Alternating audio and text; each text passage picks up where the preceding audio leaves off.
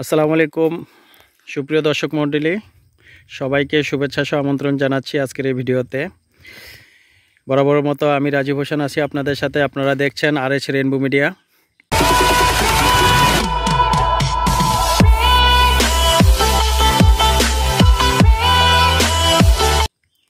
আমরা এই মুহূর্তে অবস্থান করছি, দেখতেই পাচ্ছেন চার দেশ সিলেট। অনেকেই ভাবতেই পারেন অনেকটা যে সিলেটে হয়তো বা চলে আসছি, কিন্তু সিলেট ছাড়াও বাংলাদেশের অনেক জায়গায় এরকম চা বাগান রয়েছে।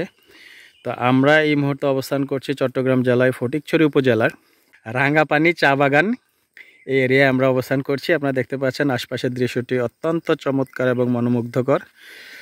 আমরা সপরিবারে চলে আসলাম সিএনজি যুগে। তো আমাদের মধ্যে আমরা আমরা যদি একটু পরিচয় করে দিই বা আশপাশের দৃশ্যটুকু আগে দেখিয়ে। পরিচয় করে দিচ্ছে যে আসছে আমার আম্মা যান রাইসা মনি। রাইসা আমু হাসি দাও। যদিও সে শারীরিকভাবে অসুস্থ মন ভালো নেই। তারপরে আসছে এই যে আপনাদের বাবি সাহেব আসছে আমাদের মেহমান বড় ভাই হচ্ছে মজিব ভাই ওনার মেয়ে এবং আমাদের এই যে ভাবি সাহেবা উনি একটু ক্লান্ত হয়ে গেছে যার কারণে আসলে এই বাগানের ভিতরে প্রবেশ করতে পারছে না। হচ্ছে আমাদের বড় মামুনি। তো দৃশ্যটি আসলে খুবই চমৎকার বা মানে খুব কাছাকাছি এত সুন্দর পরিবেশ আছে, আসলে এটা জানা ছিল না আজকে আসলাম।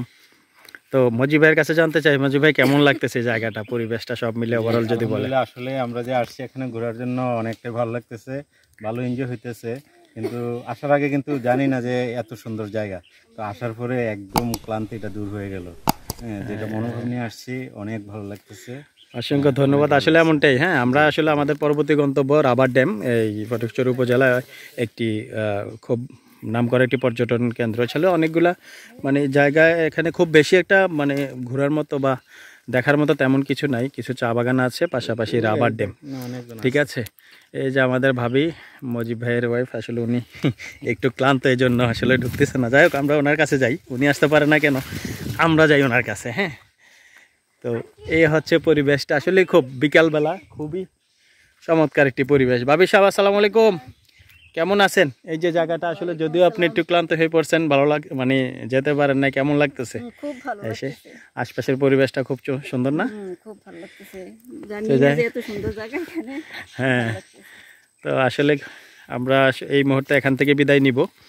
আমরা যাব পরবর্তী গন্তব্য আমাদের রাবার ড্যাম। আর আমাদেরকে নিয়ে আসছে যে বারো ভাই লিটন ভাই। ওনার সিএনজি যুগে আমরা আসলাম। লিটন ভাই এখানে আর কি কি জায়গা আছে বা কি কি জিনিস দেখার মতো কি কি আছে? লিটন ভাই অনেক ভালো মানুষ উনি না ঠিক আছে উনি আসলে আমাদেরকে দুই দিন যাবত সঙ্গ দিচ্ছে খুব ভালোভাবেই। হ্যাঁ আমরা তো চিনি কিন্তু লিটন ভাইয়ের সাহায্যে আমরা হ্যাঁ হ্যাঁ। কিছু দেখতেছি এখানে। ইনশাল্লাহ আমরা দেখি পরবর্তী যে জায়গায় যাব ওই জায়গা থেকে আপনাদেরকে সংযুক্ত করার চেষ্টা করব। ততক্ষণ পর্যন্ত আমাদের সাথে থাকবেন। এই প্রত্যাশা রেখে এখনকার মতো এই জায়গা থেকে বিদায় নিচ্ছি। আর আর আমি বড় বড় মতো রাজীব হোসেন আপনাদের সাথে আছি।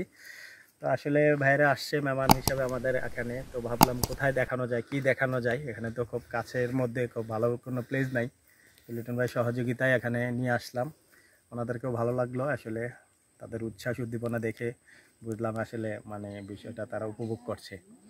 তো আমরা রাবার ড্যামে নিয়ে যাব। রাবার ড্যাম দেখানোর জন্য আসছি। এটা একটা মানে মানে অতিরিক্ত একটা দৃশ্যের সাথে সংযুক্ত করলাম আর কি। তো ইনশাল্লাহ আমাদের সাথে থাকবেন পরবর্তী অংশটুকুতে। সবাইকে ধন্যবাদ জানিয়ে শেষ করছি এই মুহূর্তে।